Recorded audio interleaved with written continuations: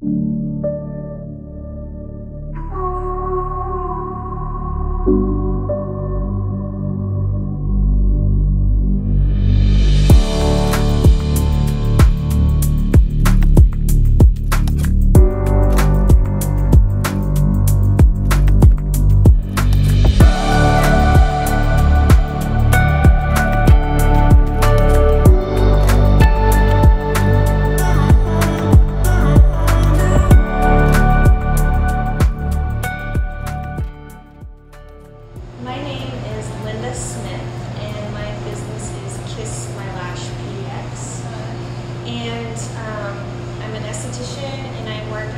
salon, and then I also do makeup, on-site makeup. Awesome. Yeah. Uh, so, what sets you apart from other makeup artists? Would you say?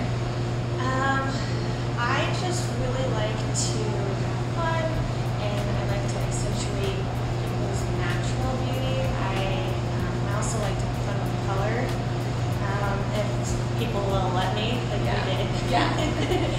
um, and I've just been doing it for a long time,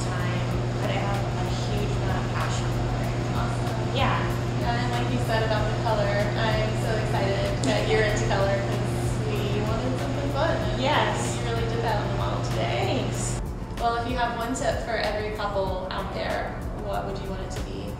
Just stick with your gut feeling, know what you want, and speak up for yourself.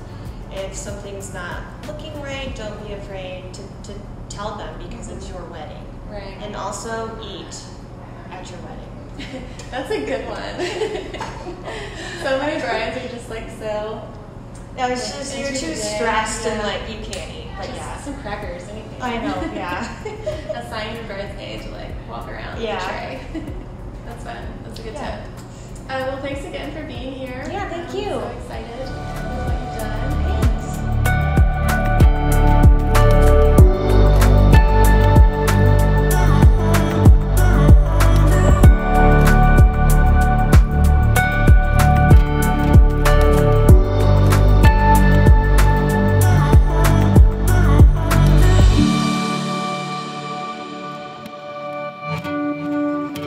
Thank